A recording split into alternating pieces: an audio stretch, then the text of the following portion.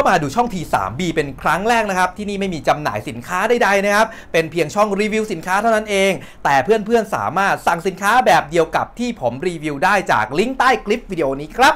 และเพื่อนๆสามารถกดติดตามช่องผมจากปุ่มติดตามครับ หรือปุ่ม subscribe แบบนี้ และอย่าลืมกดกระดิ่งครับ จะได้ไม่พลาดคลิปใหม่ๆที่ลงทุกวันศุกร์ วันเสาร์และยังมีคลิปพิเศษเกือบทุกวันเลยเวลา2ทุ่มตรงสวัสดีเพื่อนๆครับครูบูมสอนดำน้ำครับห่างหายไปนานนะครับกับ content เกี่ยวกับเรื่องอุปกรณ์ดำน้ำหรือว่าเรื่องทริปดำน้ำครับเดี๋ยวหลังจากช่วงนี้ครับเพิ่งกลับมาจากทริปพม่าฮะเดี๋ยวก็จะทำรีวิวก็คือมีพวกกล้อง action cam ที่ใช้ดำน้ำนะ แล้วก็ทริปพม่าครับท่องเที่ยวทริปพม่าใต้ทะเลเป็นยังไงครับ เดี๋ยวจะทำวิดีโอไว้ให้เพื่อนๆดูเลยสำหรับวันนี้ครับอยากจะมารีวิว ไฟฉายดำน้ำครับ แต่มันไม่ใช่ไฟฉายธรรมดาครับ เป็นไฟฉายแบบ all in one ครับ ก็คือสามารถถ่ายวิดีโอได้ด้วย ใช้เป็นไฟฉายนำทางได้ด้วย แล้วก็มีไฟ red spot อีกด้วยครับสำหรับวันนี้ครับ ไฟฉายจาก Ocean ครับอ่ารุ่นนี้ก็จะเป็น D15 VP นะครับ จะบอกว่า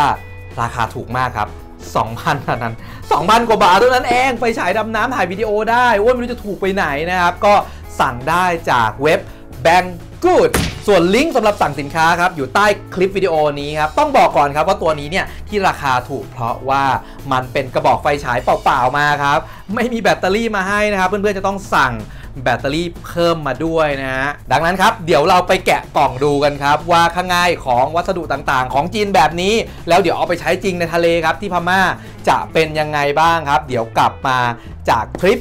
แล้วก็ทำวิดีโอนี้แหละนะครับ เพื่อนๆจะได้ดูกัน อนนี้ไปแกะกองดูก่อนเลย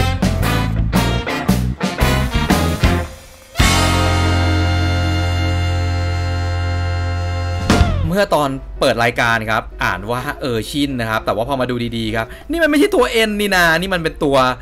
เลข 2 โรมันครับ เพราะนั้นมันน่าจะอ่านว่า a r c h o นะครับ2ครับ หรือว่า a r c h o 2นั่นเอง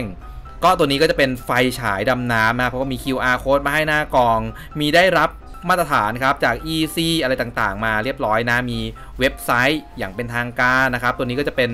ของจีนนั่นแหละนะ แต่ว่าเป็นของจีนที่คุณภาพ ถือว่าคุณภาพดีครับ ตรงนี้ก็น่าจะเป็นรุ่นนะครับ เป็น D15 VP นะครับ ตัวนี้เขาบอกว่าเป็นไฟสีขาวสำหรับถ่ายวิดีโอ 5,000 ถึง 5,500K ครับ แล้วก็มีไฟสีแดงอยู่ข้างในด้วยนะ เป็น 620 N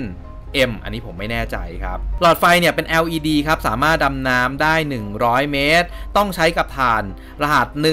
18650 เท่านั้นนะครับอ่าแล้วก็ความสว่างครับอยู่ที่ 1,300 ลูเมนครับ ก็ถือว่าสว่างนะ สว่างมากๆเลยอะทีนี้เรามาแกะกล่องดูข้างในกันดีกว่าครับก็ปกติของที่สั่งมาจากแบงกูนะครับเขาก็จะห่อมาให้เป็นพัสดุเป็นบับเบิลชีตอะไรเงี้ยก็อาจจะมีแบบ กล่องบุบเบิบบ้างนิดหน่อยครับ แต่ว่าของข้างในไม่ได้เสียหาย ในกล่องของไฟฉาย R Show 2ตัวนี้นะครับ ก็ไม่ต้องตกใจนะครับ เพราะว่า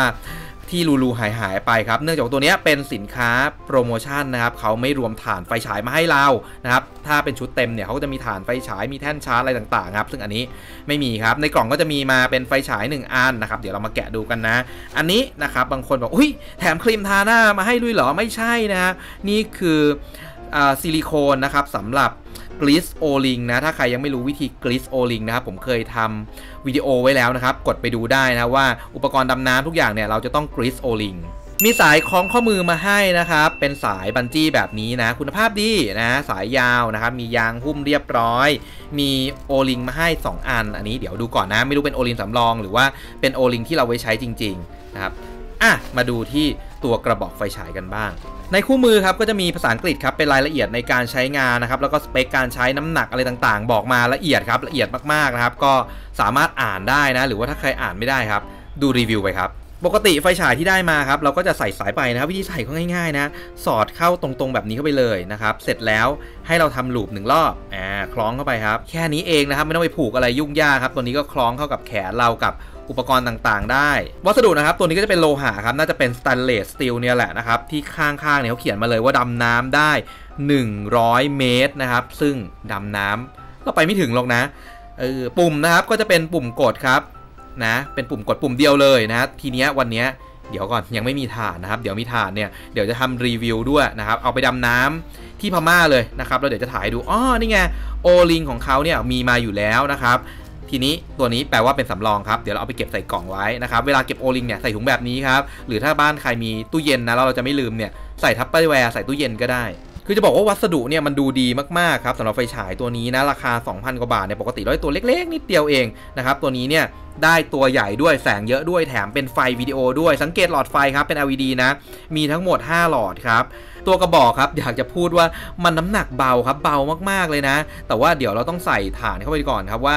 น้ำหนักมันจะเพิ่มขึ้นเยอะไหมแต่โดยรวมเนี่ยวัสดุครับดีมากๆครับตัวนี้เป็น O-ring 2ชั้นนะเห็นไหมอ่าเพราะนั้นเวลาใช้งานไปนานๆเนี่ยอย่าลืมครับเอา O-ring ออกมา grease ซิลิโคนกันบ้างนะครับหรือเก็บนานๆเนี่ยอย่าบิดกระบอกใส่ไว้ทั้งๆที่มีโอลิงแบบนี้นะครับเพราะว่ามันอาจจะเสื่อมได้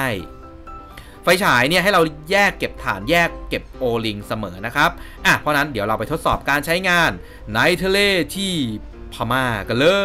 ย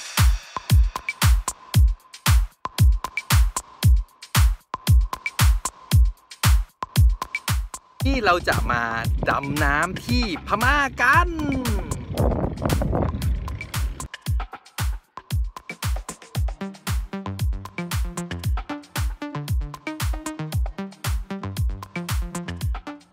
เอาไฟฉายใส่ฐานให้เรียบร้อยนะครับ ลองเทสการเปิดครับ สวิตช์เปิดครั้งแรกเนี่ยมันจะเป็นไฟวิดีโอเลยนะครับ แล้วก็ครั้งที่2เนี่ยเป็นไฟนำทางครับ ส่วนครั้งที่3เนี่ยก็จะเป็นไฟสีแดงเป็นแบบนี้ครับ อ่า ทีเนี้ยเวลา เจ้าไฟฉายตัวนี้แบตใกล้หมดครับเขาจะมีการกระพริบเตือนขึ้นมาก่อนแบบนี้เป็นไฟสีแดงครับ ส่วนถ้าแบตเต็มเนี่ยก็จะเป็นไฟสีเขียวอะทีนี้ผมลองจัดชุดดูครับ เอาไฟฉายถ่ายวิดีโอแบบนี้ครับ เข้ากับกล้อง Action Cam สักตัวหนึ่งครับ เป็นชุดง่ายๆครับพกพาสะดวกราคาประหยัดนะครับสำหรับเพื่อนๆที่อยากได้กล้องชุดเล็กๆนะครับไว้ถ่ายใต้น้ำครับ ชุดนี้ครับ เบ็ดเสร็จทั้งชุดเนี่ยราคาไม่เกิน 5,000 บาทแน่นอนฮะจากนั้นครับเราลงมาใต้น้ำกันเลยครับ เมื่อลงมาใต้น้ำมาสีที่เราเห็นแน่นอนครับ สีแดงมาถูกดูดซึมไปใช่ไหมครับ มันก็จะเห็นเป็นภาพสีน้ำเงินแบบนี้เวลาเราถ่ายด้วยกล้องวิดีโอครับ เราลองมาเทสโดยการใช้ไฟฉายตัวนี้ครับ เปิดฮะ เมื่อเราเปิดครับส่องไปที่วัตถุอะไรก็ตามที่อยู่ ใต้น้ำนะครับ แสงของไฟฉายเนี่ยทำให้สีมันกลับมาเหมือนเดิมฮะนี่ครับเห็นไหมปะการังสีแดงครับลองเปลี่ยนเป็นไฟนำทางนะครับ แล้วก็ไฟสีแดงครับโอ้โหอันนี้แดงเกินนะจริงๆเราถ่ายวิดีโอเนี่ยเราใช้แค่ไฟถ่ายวิดีโอแบบนี้ก็พอแล้วนะครับ สำหรับในช่วงความลึกที่ทดสอบครับ ทดสอบที่ 18 เมตรครับ ซึ่งจริงๆ ในทริปนี้ผมใช้ไฟฉายตัวนี้ดำลงไปถึง 35 เมตรนะครับ ก็ไม่ได้มีปัญหาอะไรนะครับ ข้อดีของไฟฉายตัวนี้เนี่ย เราสามารถกดเปิดปิด กดเปลี่ยนสวิตต่างๆ ใต้น้ำได้ครับ ไม่มีน้ำเข้าไม่มีน้ำซึมนะครับ ซึ่งไฟฉายบางตัวเนี่ย เราต้องเปิดที่ผิวน้ำแล้วก็ใต้น้ำมันเปลี่ยนไม่ได้นะ เวลากดปุ่มใต้น้ำเนี่ย มันมีน้ำเข้าไฟฉายครับ ขนาดภาพที่อยู่ระยะไกล ๆแบบนี้นะครับ เพิ่มแสงกลับมาได้ครับ ค่อนข้างชัดทีเดียวนะครับ ระยะของ ไฟวิดีโอเนี่ยอยู่ที่ประมาณ2ถึง3เมตรครับอ่าไม่เกินนั้นนะสำหรับถ่ายวิดีโอครับผมแนะนำว่าอยู่ที่1ถึง2เมตรเนี่ยค่อนข้างจะคมชัดเลย หลังจากนี้ครับเดี๋ยวผมจะให้เพื่อนๆครับดู วิดีโอต่างๆครับที่ผมเก็บฟุตไว้เนาะถ่ายเป็นภาพวิดีโอสำหรับทริปท่องเที่ยวใต้น้ำที่พม่าครับส่วนเพื่อนๆที่อยากดูว่าใต้น้ำพม่าเนี่ยเป็นยังไง เดี๋ยวผมทำวิดีโอไว้อีกวิดีโอหนึ่งนะครับ ไว้ที่ไว้เพื่อนๆจะได้มาดูนะครับนี่เห็นไหมครับถ่ายหน้าคนก็ได้นะ เออ แต่ว่าแสงมันจะเข้าตานิดนึงนะเอาเป็นว่าเดี๋ยวเราไปทดสอบครับการถ่ายสัตว์ต่างๆ ใต้น้ำแล้วก็ภาพกลางวันกลางคืนครับอะไปดูกันเลย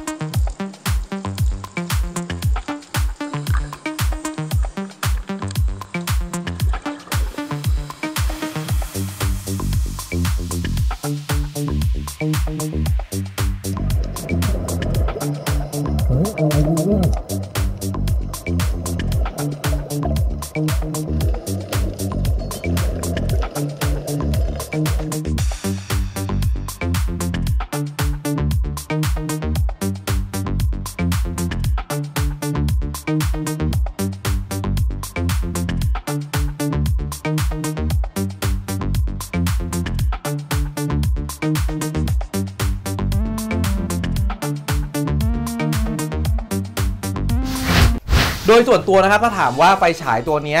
ดีไหมนะครับ ถือว่าคุณภาพดีมาก ๆ ครับสำหรับราคาแค่ 2,000 กว่าบาทเท่านั้นเอง ส่วนฐานครับ เราก็สั่งออนไลน์มาพร้อมกับไฟฉายเลยนั่นแหละดีที่สุดนะครับ เพื่อน ๆ ที่อยากจะหาซื้อถ่านเองนะครับ ก็อาจจะต้องไปเดินตามคลองถมหรือร้านที่ขายถ่านนำเข้าอะไรแบบนี้นะ หรือในเว็บไซต์ออนไลน์ก็มีนะครับ แล้วก็แบงค์คูดเขาก็มีนะ นะครับในโหมดของการถ่ายวิดีโอ แสงต่างๆ ที่ออกมาก็นุ่มนวลครับ สามารถทดแทนแสงจริงได้ในระดับหนึ่งนะแต่ว่าด้วยความที่มันเป็นไซส์เล็กครับ ดังนั้นครับ ภาพที่ถ่ายส่วนใหญ่เนี่ยถ้าเป็น macro เนี่ยโอเคเลยนะครับ แต่ว่าถ้าภาพวายใหญ่ๆเนี่ยไฟฉายแค่นี้ฮะไปไม่ถึงแน่นอนครับ จริง ๆ แล้วเดี๋ยวจะ